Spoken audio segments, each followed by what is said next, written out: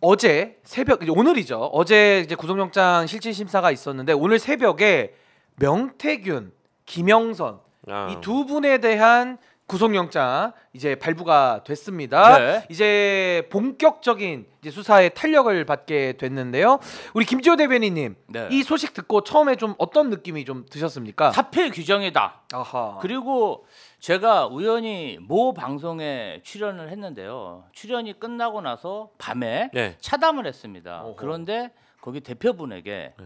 명태균 씨의 가족분이 예. 계속 전화가 오더라고요. 가족이요. 그렇죠. 어허. 예. 그래서 아마 가족분들이 예. 명태균 씨의 구속을 예감하고 어. 아 윤석열 대통령, 윤석열 정권에서는 정말 죽겠구나. 아. 뭔가 다른 선을 찾으려고 굉장히 노력하는 모습을 보였습니다. 음. 어. 아니 그럼 우리 박영식 앵커님은 제가 이렇게 여쭤보면 명태균, 김영선 어제 예. 총 4명에 대해서 네. 영장 청구가 됐는데 음. 둘은 구속됐습니다. 좀 네. 예상은 한 결과라고 봐야 되나요? 저는 뭐 뭐 늘 얘기를 하고 다녔죠. 네 명 중에 그 지역 예비 후보들, 그러니까 돈을 건넸다라고 얘기하는 그 두 분은 사실 그 검찰 진술이 에, 일단은 이실직고가 된 거기 때문에 예. 어 이분들은 도주의 우려가 없다, 뭐 증거 인멸의 우려가 없다라고 판단할 거라고 예상을 했었고 명태균과 김영선의 경우에는 과거 인터뷰들을 살펴보더라도 이거는 구속을 지금 시점 자체가 너무 늦었다라고 저는 평가를 어. 했거든요. 이미 한 10월 초부터는 예. 저분들이 쏟아내는 말 자체가 증거 인멸의 우려가 너무 많고 사실 명태균이 했던 말 중에 제가 제일 기억에 남는 게 음. 휴대폰을 파묻었다. 아. 뭐 이런 얘기가 아버지 산소 얘기를 아, 했었죠. 그런 얘기도 예. 하니까 범죄 혐의를 받고 있는 피의자가 언론 인터뷰 과정에서 휴대폰을 음. 파묻었다. 나를 건드리면 대통령이 내려오겠어, 내가 내려오겠어. 어허. 뭐 이제 이런 식의 말을 했기 때문에 예. 나를 구속시키면 어디 한번 구속시켜 봐라. 이제 이런 식의 허장성세를 부르고 호기롭게 부렸지만 어쨌든 예. 그 하는 어, 이 명태균의 말 자체가 증거인멸 가능성을 너무 깊이 내포했기 때문에 어. 이 사람은 구속을 해야 될 필요성이 상당했다라고 보고요. 그리고 물론 사안의 중대성이라는 것도 지금 이 명태균 게이트가 이미 전국을 흔든 지가 벌써 두 달째입니다. 그렇습니다. 이거는 그럼 당연히 이 두 사람에 대한 인신 구속을 통해서 예. 좀더 신속하고 어, 엄밀한 수사를 해야 될 필요성을 검찰이 느꼈을 거라고 보고요.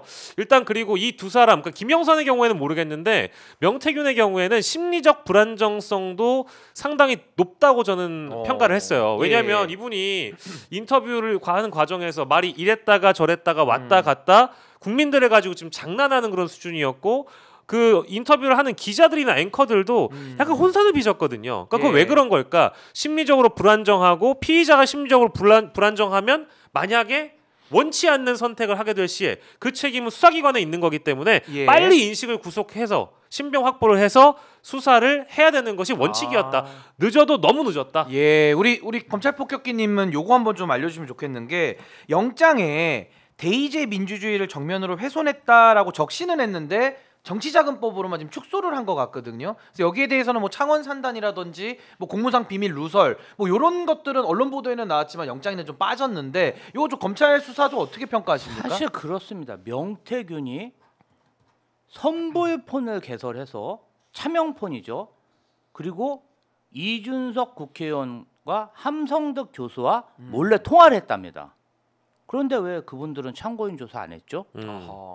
아니 범죄 의혹이 있는 중대 범죄자가 음. 예. 차명으로 누군가 연락을 했다. 오. 그러면 굉장히 중요한 단서 아닙니까? 굉장히 의심스럽죠. 그런데 검찰에서는 그분들에 대한 조사가 일치 없습니다. 그리고 사실 지금까지 나오는 증거라고는 강혜경 씨가 제공한 그런 증거들뿐이 없지 명태균 씨가 가지고 있는 핸드폰 세 개, 예. USB 하나 이 세 개에서는 오리무중이에요. 명태균 씨가 이 핸드폰 세 개와 USB를 처음에 땅에 파묻는다고 했죠. 어허.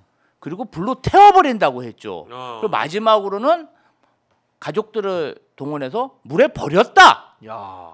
사실은 저희가.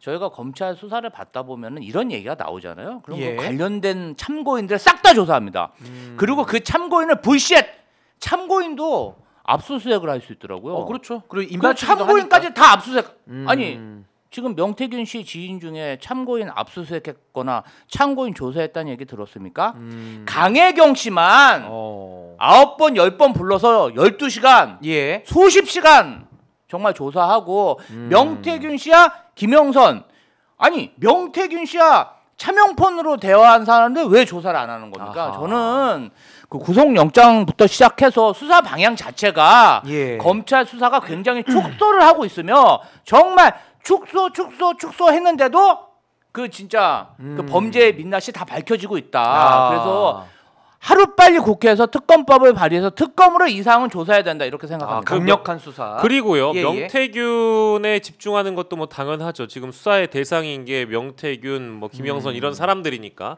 근데 여러분들 생각을 해보십시오. 이 사태의 본질은 뭡니까? 본질이 뭐죠? 본질은 김건희죠. 어허. 김건희 씨하고 심지어 명태균이 영장 청구 바로 그 다음 날 김건희 여사에게 텔레그램을 보냈다는 거 아닙니까? 뭐 물론 오. 김건희 씨가 묵묵부답이었다고는 하니까 그 응답을 알 수는 없지만 김건희 여사에게 명태균이 영장 청구 다음 날에 텔레그램을 보냈다는 이유와 목적은 뭐겠어요? 음. 자신의 구속에 대한 어떤 구명 로비를 김건희에게 한 것이 아니냐라는 예. 판단이 드는 것이고 그리고 지금 돈봉투 얘기를 또 안 할 수가 없는데 명태균에게 두 차례 돈을 건넸다는 게 김건희잖아요. 음. 왜 그럼 김건희 씨는 내버려 두는 겁니까? 어허. 아니 아까 참고인도 우리 김지호 대변인께서 말씀 주셨지만 예. 이 사안의 본질은 윤석열, 김건희, 명태균 이 사람들이 주범이에요. 맞습니다. 그렇다면 어떻게 해야 되겠습니까?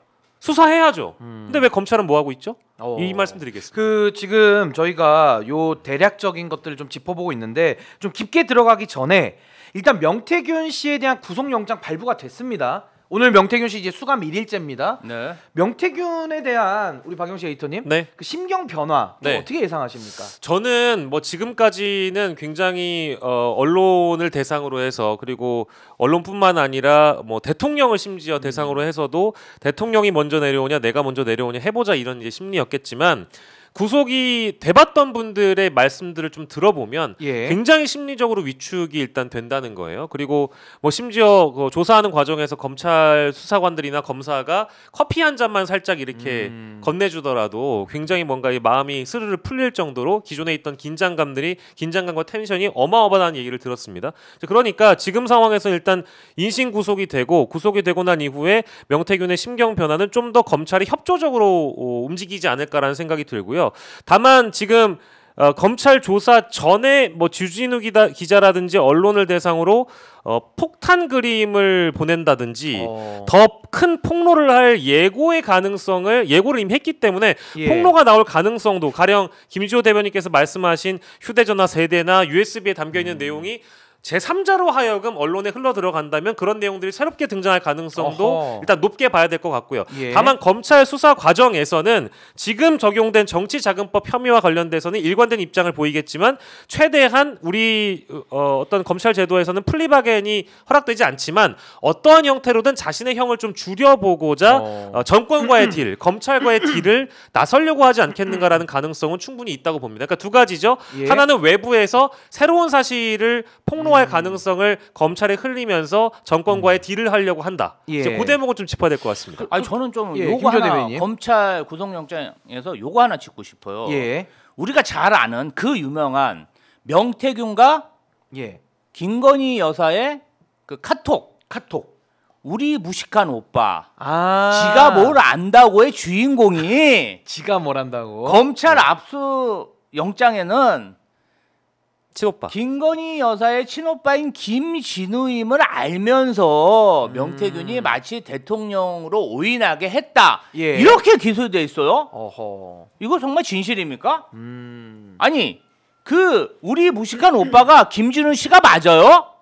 아 저는 검찰에서 이거 좀 확인 좀 해줬으면 좋겠네. 음. 무슨 근거로 그런 얘기를 하는지. 아하. 500만 원이라는 돈봉투 얘기가 나왔어요. 네. 근데 이게 돈봉투가 이제 언제 뿌려졌냐도 상당히 중요한 쟁점이고 예를 들면 뭐 선거 기간인지 당선인 이유인지 지금 언론 보도로만 따지면은 여러 차례 좀 지금 뿌려진 걸로 보여지는데 네. 민주당에 대해서 돈봉투 당내 경선에서만 뿌려도 엄정하게 수사한 검찰 이거 수사 어디까지 한다고 보시나요? 아니, 일단은 이건 저 돈 봉투 소리가 나도 부스럭거리 소리 나잖아요 지금 500만 원 어떻게 보십니까? 나도 모르게 계산된 10만 4천 원 때문에 지금 2년간 재판을 받고 예. 온갖 수모를 당한 우리 어, 김혜경 여사도 계신데 어. 이 500만 원, 500만 원이면 그것도 거의 뭐 무기징역감 아닙니까? 여러 차례 그리고 500만 원 돈 봉투 코바나 콘텐츠 500만 원 돈 봉투를 명태균 씨만 줬겠어요? 오.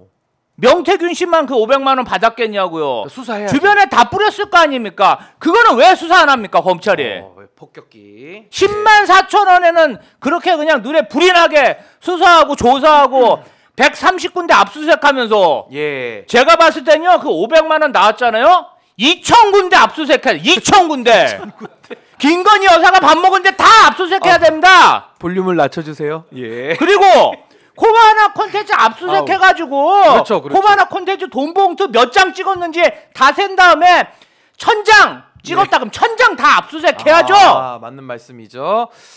우리 박영식 볼륨을 낮춰주세요